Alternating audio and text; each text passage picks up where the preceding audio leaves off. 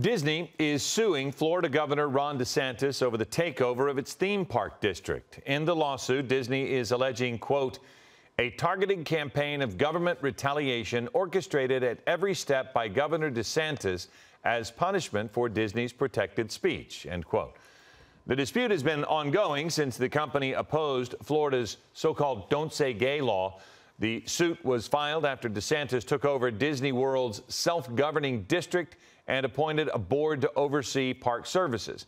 DeSantis' office issued a statement as well, claiming, quote, this lawsuit is yet another unfortunate example of their hope to undermine the will of the Florida voters and operate outside the bounds of the law, end quote. Disney is the parent company of ABC7.